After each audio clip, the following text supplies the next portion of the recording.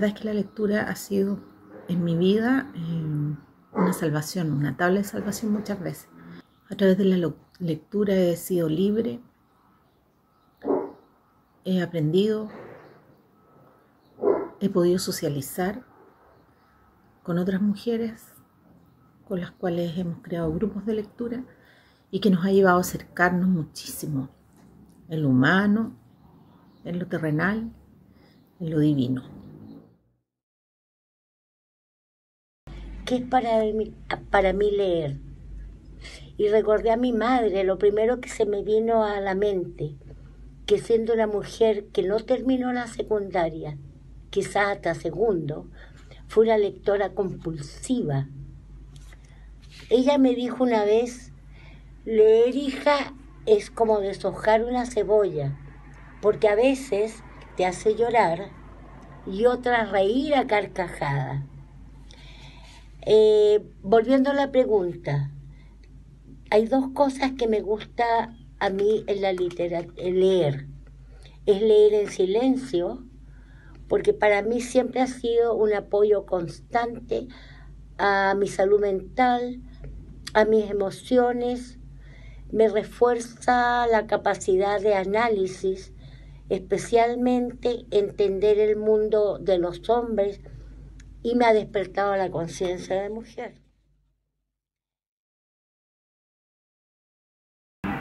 Pero se me viene a la mente cuando, más que responder, se me viene a la mente cuando yo aprendí a leer, más específicamente cuando me enseñaron a leer.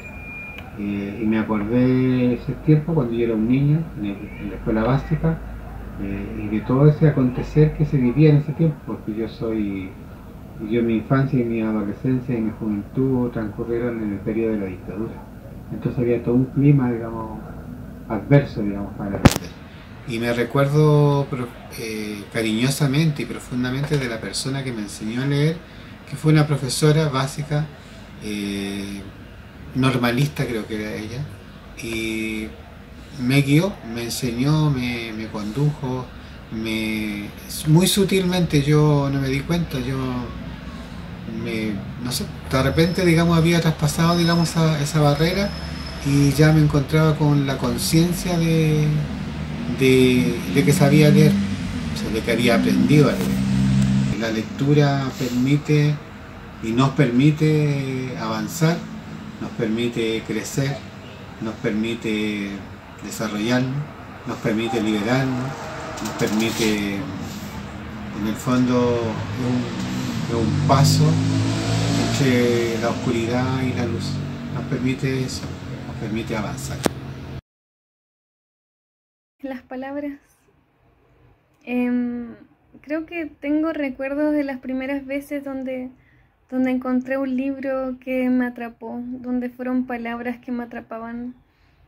Y recuerdo ser muy pequeña y sentir que era como un tesoro que me sentaba en el rincón de la cama de mi abuela y, me ponía a leer el libro como si fuera un tesoro, como si lo estuviera viviendo realmente. Y, recuerdo también cuando lo leía junto con mis hermanos y, al final como tratábamos de, de hacer lo que hacían los libros, como las aventuras, nos dibujábamos mapas del tesoro, cosas muy hermosas salían de un libro nos hacían vivir cosas que quizás sin la imaginación y sin escucharlas no, no las habríamos sentido ni hubiésemos creado memorias fuertes.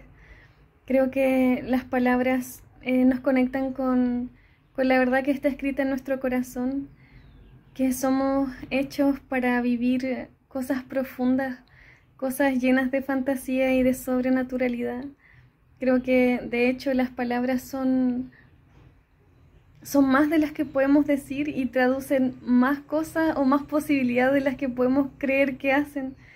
Creo que es un viaje, que las palabras son un viaje que, que siempre se van a transformar en luz, a pesar de que a veces sean oscuras. Creo que en ese caso también de, de cómo sacar lo que está dentro a través de palabras nos invita a un viaje de orden y de luz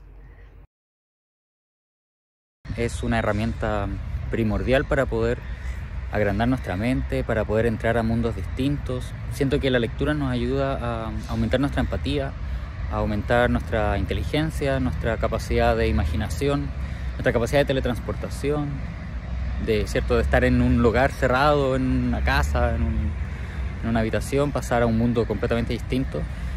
Siento que la lectura es eh, uno de los principales como atributos que tenemos como humanos y nos permite desarrollarnos aún más, comprender aún más, viajar, explorar, expandir nuestra mente, nuestro mundo, nuestro todo.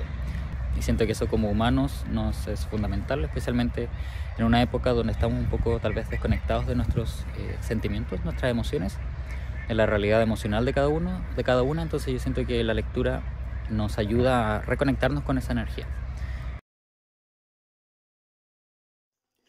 Antes de tanta globalización, antes del smartphone